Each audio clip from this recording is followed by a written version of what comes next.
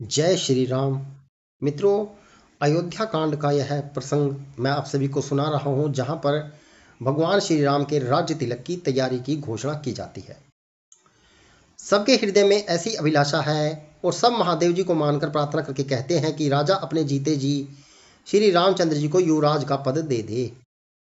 एक समय रघुकुल के राजा दशरथ जी अपने सारे समाज सहित राज्यसभा में राज्यसभा में भी राजमान थे। महाराज समस्त पुण्यों की मूर्ति हैं। उन्होंने श्री रामचंद्र जी का सुंदर यश सुनकर अत्यंत आनंद हो रहा है। सब राजा उनकी कृपा चाहते हैं और लोकपालगण उनके रुख को रखते हुए अनुकूल होकर प्रीति करते हैं। पृथ्वी, आकाश, पाताल तीनों भुवनों में से भूत भविष्य, वर्तमान तीनों कालों में दशरथ जी के समान बड़भागी कोई और नहीं है। मंगलों के मूल श्री रामचंद्र जी, जिनके पुत्र हैं, उनके लिए जो कुछ भी कहा जाए सब थोड़ा है। राजा ने स्वाभाविक ही हाथ में दर्पण ले लिया और उसमें अपना मुख देखकर मुकुट को सीधा किया। देखा कि कानों के पास बाल सफ़ेद हो गए हैं, मानो बुढ़ापा ऐसा उपदेश कर रहा है कि हे राजन, श्री रामचंद्र जी को युवराज पद देकर अपने जीवन और जन्म का लाभ क्यों नहीं लेते? हृदय में यह विचार लाकर युवराज पद देने का निश्चय कर राजा दशरथ जी ने शुभ दिन और सुंदर समय पाकर प्रेम से पुल की शरीर हो आनंद में मन से उसे गुरु वशिष्ठ जी को जा सुनाया। राजा ने कहा, हे मुनिराज, कृपया यह निवेदन सुनिए मैं श्री रामचंद्र जी। श्री रामचंद्र जी अब सब प्रकार से सब योग्य हो गए हैं। सेवक मंत्री, सब नगर निवासी और जो हमारे शत्रु हैं, मित्र या उदासीन हैं, सभी को श्री रामचंद्र जी वैसे ही प्रिय हैं जैसे वे मुझको हैं। उनके रूप में आपका आशीर्वाद ही मानो शरीर धारण करके सुशोभित हो रहा है। हे स्वामी, सारे ब्राह्मण परिवार सहित आपके ही समान उस पर स्नेह करते हैं। जो लोग गुरु के चरणों की रज को मस्तक पर धारण करते हैं। वे मानो समस्त ईश्वरों को अपने वश में कर लेते हैं। इसका अनुभव मेरे समान दूसरे किसी ने नहीं किया।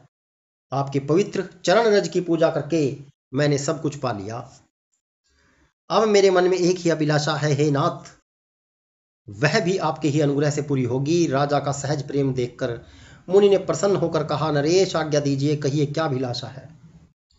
हे राजन आपका नाम और यश ही संपूर्ण मनचाही वस्तुओं को देने वाला है। हे राजाओं के मुकुटमणि, आपके मन की अभिलाषा फल का अनुगम, अनुगमन करती है, अर्थात आपके इच्छा करने से पहले ही फल उत्पन्न हो जाता है। अपने जी में गुरु जी को सब प्रकार से प्रसन्न जानकर हर्षित होकर राजा कोमल वाणी से बोले, हे नाथ, श्री रामचंद्र जी को युवराज कीजिए, कृपा करके कहिए, आज्ञा दीजिए तो तैयारी की जाए। मेरे जीते जी यह आनंद उत्सव हो जाए, जिससे सब लोग अपने नेत्रों का लाभ प्राप्त करें। प्रभु, आप के प्रसाद से शिव जी ने सब कुछ निभा दिया। सब इच्छाएँ पूर्ण कर दी। केवल यही एक लालसा मन में रह गई है। इस लालसा के पूर्ण हो जाने पर फिर सोच नहीं, शरीर रहे या चला जाए, जिससे मुझे पीछे पछतावा न हो। दशरथ जी के मंगल और आनंद के मूल सुंदर वचन सुनकर मुनि मन में बहुत प्रसन्न हुए। वशिष्ठ जी ने कहा, है राजन, सुनिए, जिनसे विमुख होकर लोग पछताते हैं और जिनके भजन बिना ही जलन नहीं जाती, वही स्वामी सर्वलोक महेश्वर श्री राम जी आपके पुत्र हुए, जो पवित्र प्रेम के अनुगामी हैं। श्री राम जी पवित्र प्रेम के पीछे पीछे चलने वाले हैं। इसी से तो प्रेम वंश आपके पुत्र हुए हैं। हे राजन, आप देर न कीजिए, शीघ्र सब सामान सजाइए, शुभ दिन और सुंदर सुंदर मंगल तभी है जब श्री राम जी युवराज हो जाएँ। अर्थात उनके अभिषेक के दिन सभी दिन शुभ और मंगल में हैं। राजा आनंदित होकर महल को में आए और उन्होंने सेवकों तथा मंत्री सुमंत को बुलाया। उन लोगों ने जय जीव कहकर सिर नवाए। तब राजा ने सुंदर मंगलमय वचन श्री राम जी को युवराज पद देने का प्रस्ताव सुनाए और कहा, यदि पंचों को आप सबको यह मत अच्छा लगे तो हृदय में हर्षित होकर आप लोग श्री रामचंद्र जी का राज तिलक कीजिए। इस प्रिय वाणी को सुनते ही मंत्री ऐसे आनंदित हुए, मानो उनके मनोरथ रूपी पौधे पर पानी पड़ गया हो।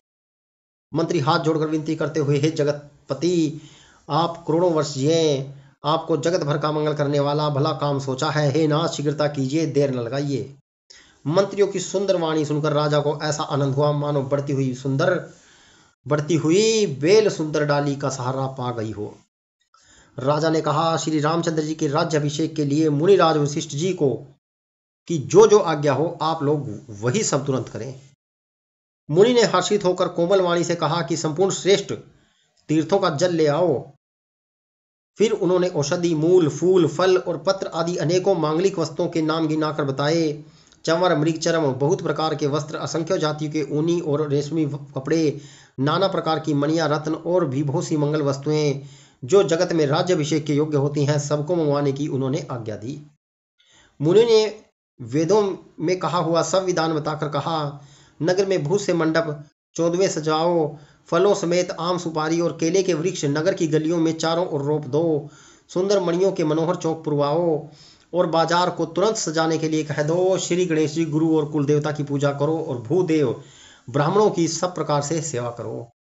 ध्वजा, पताका, तोरण, कलश घोड़े, रथ और हाथी, सबको सजाओ। मुनि श्रेष्ठ विशिष्ट जी के वचनों को शिरोधार्य करके सब लोग अपने अपने काम में लग गए। मुनीश्वर ने जिसको जिस काम की आज्ञा दी थी, उसने वह काम इतनी शीघ्रता से कर डाला कि मानो पहले से ही कर रखा है था। राजा ब्राह्मण, साधु और देवताओं को पूज रहे हैं और श्री रामचंद्र जी के लिए सब मंगल कार्य कर रहे हैं।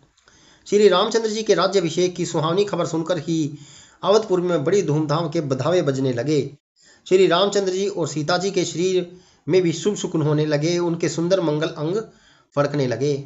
पुलकित होकर वे दोनों प्रेम सहित एक दूसरे से कहते कि ये शुभ सुकुन भरत के आने की सूचना देने वाले हैं। उनको मामा के घर गए, बहुत दिन हो गए।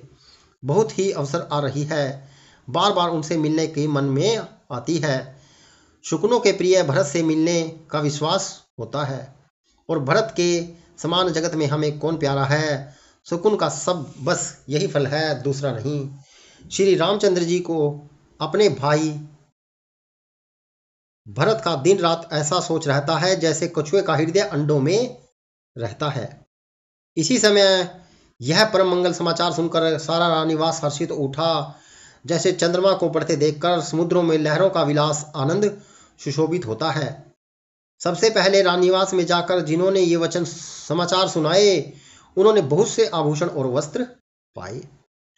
रानियों का शरीर प्रेम से पुलकित हो उठा और मन में, मन प्रेम में मगन हो गया। वे सब मंगल कलश सजाने लगी। सुमित्रा जी ने मणि रत्नों के बहुत प्रकार के सुंदर, अत्यंत सुंदर और मनोहर चौक पुराए। आनंद में मगन हुई श्री रामचंद्र जी की माता कौशल्या जी ने ब्राह्मणों को बुलाकर बहुत दान दिए। उन्होंने ग्राम देवियों, देवताओं और नागों की पूजा की और फिर बलि भेंट देने को कहा। अर्थात कार्य सिद्धि होने पर फिर पूजा करने की मनोती मांगी और प्रार्थना की कि जिस प्रकार से श्री रामचंद्र जी का कल्याण हो, दया करके वही वरदान दीजिए। कोयल किसी मीठी वाणी, चंद्रमा के समान मुख वाली और हिरण के बच्चे के से नेत्रों वाली स्त्रियाँ मंगलगान करने लगी। श्री रामचंद्र जी का राज्य विशेष सुनकर सभी स्त्री पुरुष हर्षित तो उठे और विधाता ने अपने अनुकूल समझकर सब मंगल साज सजाने लगे। जय श्री राम। तब राजा ने वशिष्ठ जी को बुलाया और शिक्षा समोयोचित उपदेश देने के लिए श्री रामचंद्र जी के महल में भेजा। गुरु का आगमन सुनते ही श्री रघुनाथ जी ने दरवाजे पर आकर उनके चरणों में मस्तक नवाया। आदरपूर्वक अर्ध देकर उन्हें घर में लाए और षोडोपचार से पूजा करके उनका सम्मान किया। फिर सीता जी सहित उनके चरण स्पर्श किए। समान दोनों हाथों को जोड़कर श्री राम जी बोले यद्यपि सेवक के घर स्वामी का पधारना मंगलों का मूल है, और अमंगलों का नाश करने वाला होता है। तथापि हे नाथ, उचित तो यही होता है कि प्रेम पूर्वक दास को वही, दास को ही कार्य के लिए बुला भेजते ऐसी ही नीति है। परंतु प्रभु, आपने प्रभुता छोड़कर स्वयं यहाँ पधार कर जो स्नेह किया है, इससे आज यह घर पवित्र हो गया। हे गोसाई, अब जो आज्ञा हो, मैं वही करूँगा। स्वामी की सेवा में ही सेवक का लाभ है। श्री रामचंद्र जी ने प्रेम में सने हुए वचनों को सुनकर मुनि वशिष्ठ जी ने श्री रघुनाथ जी की प्रशंसा करते हुए कहा, हे राम, भला आप ऐसा क्यों ना कहें? आप सूर्यवंश के भूषण जो हैं श्री रामचंद्र जी के गुणशील और स्वभाव का बखान कर मुनिराज प्रेम में पुलकित होकर बोले, हे रामचंद्र, राजा दशरथ जी ने अब राज्य अभिषेक की तैयारी की है। को युवराज पद देना चाहते हैं, इसलिए हे राम जी, आज आप उपवास, हवन आदि विधि पूर्वक सब संयम कीजिए। जिससे विधाता कुश पूर्वक इस काम को सफल कर दे, निभा दे। गुरुजी शिक्षा देकर दशरथ जी के पास चले गए और दस, रामचंद्र जी ने हृदय में यह सुनकर सब बात का खेद हुआ कि हम सब भाई एक ही साथ जन्मे, खाना, सोना लड़कपन के खेल कूद कनक छेद यज्ञोपीत और विवाह आदि सब उससे साथ साथ ही हुए। इस पर भी निर्मल वंश में यही एक अनुचित बात हो रही है और कि सब भाइयों को छोड़कर राज्य अभिषेक एक बड़े काम मेरा ही होता है। तुलसीदास जी कहते हैं, प्रभु श्री रामचंद्र जी का यह सुंदर प्रेम पूर्वक पछतावा भक्तों के मन की कुटिलता को हरण करे। उसी समय प्रेम और आनंद में मगन लक्ष्मण जी आए। रघुकुल रूपी कुमुद के खिलने वाले चंद्रमा श्री रामचंद्र जी के प्रिय वचन कहकर उनका सम्मान किया। बहुत प्रकार के बाजे बज रहे हैं। नगर के अतिशय आनंद का वर्णन नहीं हो सकता। सब लोग भरत जी का आगमन मना रहे हैं और कह रहे हैं कि वे शीघ्र ही आवे और राज्य अभिषेक का उत्सव देखकर नेत्रों का फल प्राप्त करें। बाज़ार रास्ते गली, घर गली, चबूतरों पर जहाँ तहां पुरुष और स्त्री आपस में यही कहते हैं कि कल वह शुभ लगन मुहूर्त कितने समय है, कितने समय है, जब विधाता हमारी अभिलाषा पूरी करेंगे। जब सीता जी सहित श्री रामचंद्र जी स्वर्ण के सिंहासन पर विराजेंगे और हमारा मन चीता होगा, मनोकामना पूर्ण होगी, इधर तो यह सब कह रहे हैं। कि कल कब होगा? उधर कुचक्री देवता विघन मना रहे हैं। उन्होंने देवताओं के औध में बधावे नहीं सुहाते। जैसे चोर को चांदनी रात नहीं भाती, सरस्वती जी को बुलाकर देवता विनय कर रहे हैं और बार बार उनके पैरों को पकड़कर उन पर गिरते हैं। वे कहते हैं, हे माता, हमारी बड़ी विपत्ति को देखकर आज वही कीजिए, जिससे श्री रामचंद्र जी राज्य वन को चले जाएँ और देवताओं का सब कार्य सिद्ध हो जाए। देवताओं की विनती सुनकर माँ सरस्वती जी खड़ी खड़ी पछता रही हैं कि, हाय, मैं कमन वन के लिए हेमंत ऋतु की रात हुई।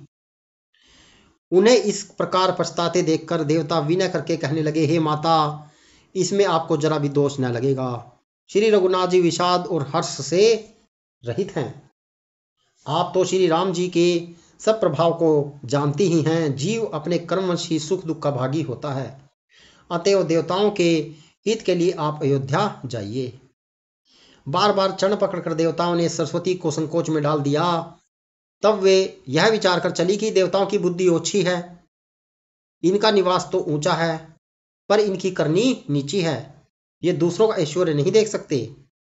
परंतु आगे का काम का विचार करके श्री राम जी के वन जाने से राक्षसों का वध होगा जिसे सारा जगत सुखी हो जाएगा। चतुर कवि श्री राम जी के वनवास के चरित्रों का वर्णन करने के लिए मेरी चाह कामना करेंगे।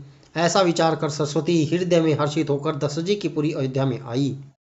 मानो दुस्सह दुख देने वाली कोई ग्रह दशा आई हो। मित्रों, मैंने आप सभी को यह वह वृतांत कहा है, अयोध्या कांड का रामचित्र मानस का, जहाँ पर भगवान श्री रामचंद्र जी को राजा दशरथ जी युवराज पद देने की घोषणा कर रहे हैं। परंतु एक तरफ़ देवता माता सरस्वती से निवेदन करते हैं, आग्रह करते हैं कि हे माता सरस्वती, कुछ कीजिए जिससे भगवान श्री राम युवराज न हो और वनवास के लिए जाएँ ताकि दुष्ट राक्षसों का वध किया जा सके। मित्रों, यदि प्रसंग अच्छा लगे तो इसे शेयर ज़रूर कीजिएगा। जय श्री राम